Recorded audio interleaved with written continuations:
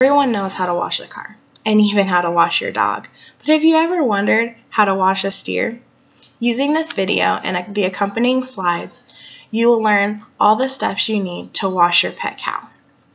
I'm going to walk you through all the steps and explain a little bit more than what you see on the slides. Um, and the general topics we're going to cover for washing your animal are brushing, washing, drying, combing, and clipping. Why?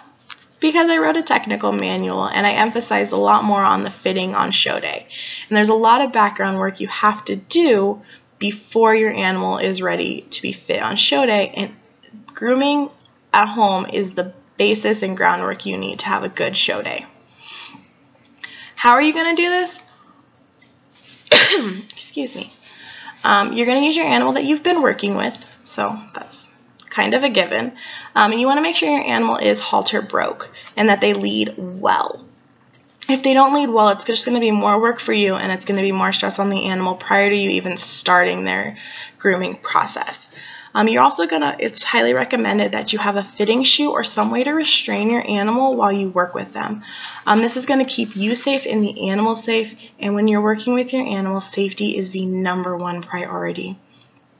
Once you have your animal all set up, you want to begin by brushing them. And the whole reason you brush them is you want to loosen the dirt and any dead hair that is on them. Um, this is just going to make washing easier and it's just your animal's going to be cleaner and it's going to be a better experience for them. Um, once you have all of the hair and dirt loosened or as much of it removed as you can, you're going to want to blow all of that dirt and hair out. Um, the reason you want to do this is it's going to make washing quicker and you're going to get a better wash. If you don't get that dirt and dead hair out, there is a chance that a seal can be created between the skin um, and the dirt created with the dirt and the water. And if this seal is created, your animal isn't going to get clean. And they aren't, or if this seal is there, it can cause a lot of skin irritation and skin problems later on. So once you have your animal all brushed and blown out, you want to begin by soaking them for their wash. Um, you want to make sure that you don't use, you want to be very cautious of the water temperature that you use. You don't want to stress your animal or shock your animal by using super cold water on a really hot day and vice versa. Um, just be very aware of the water that you are using. Once you do have them soaked down, you want to lather them you want to lather them up really good using a shampoo. Mane and Tail is the most highly recommended shampoo for cattle. Um, it is very sensitive on the skin and tends to not cause any irritation. Um, so when you're lathering them, you don't want to go past their neck. Um, so you want to go from their neck to their rear and then down to their feet. Be really careful with their feet. You don't want to get kicked. Um, but once you have them all lathered up, make sure you rinse it out really good. Um, you don't want to leave any shampoo, like I said, can cause irritations. Um, once you have them shampooed, you want to moisturize or condition them. There's a couple options for moisturizing and conditioning. There is a leave-in conditioner, which is typically a foam conditioner, and you'll spray that on um, after you have after you've brushed all the excess water out, which we'll talk about next. Um, but the other conditioner that we have is a is the rinse conditioner, that's your typical cream conditioners, just like you would use in the shower. Um, and there's a mane and tail offers, also offers a cream conditioner, so you'll want to get that all rubbed in and rinsed out um, prior to moving on to the next step. So for the next step, you're going to want to brush the animal again. So you're going to want to brush out any excess water. This is just going to help you when you go to blow dry them. It's not going to take nearly as long. Um, and then you're going to want to brush the hair in three directions. There's three steps to brushing their hair. You want to brush it down and forward, so from their tail to their front ankles, and then you're going to want to brush it all the way forward from tail to head, and then you're going to want to brush it from their back knees towards their shoulder. And doing these three steps in that order is going to help train the hair and make it easier for fitting on show day. Once you have their hair all brushed brushed out, you're going to want to blow dry the animal. It is very important that you get the animal completely dry. Um, if you don't like mentioned earlier, skin irritation is so, so, is so, so important. It's such a big deal. Um, you want to be, be, do everything you can to prevent it from happening. Um, so when you blow dry the animal, you want to follow that last direction that you brush the animal.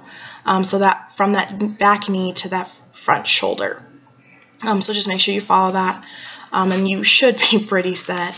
Um, it is the hardest part of the animal to get dried is the belly. So be very aware of that and work really hard on making sure you get that really dry. I mean, if you don't get the animal all the way dry, they're just going to go roll in the dirt and all of your hard work has been lost.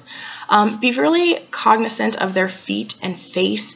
They are very sensitive there, and there tends to be a lower setting on your blower. If there is, make sure you turn it down when you blow their face and feet. Um, and the more you work with your animal, the more you will learn them and what they will deal with from you.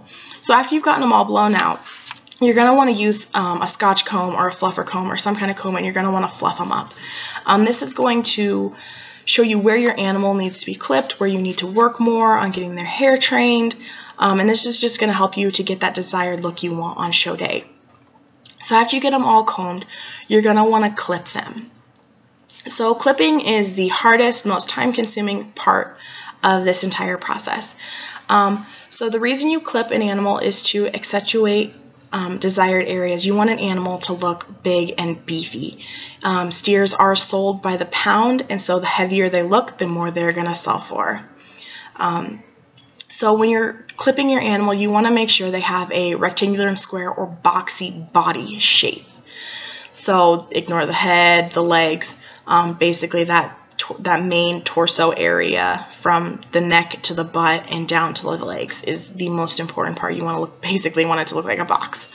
Um, from that neck or jawline forward, which is basically straight down from the ear, um, you want to shave their face. It's just going to give a good contoured look and it's going to help um, accentuate the rest of their body.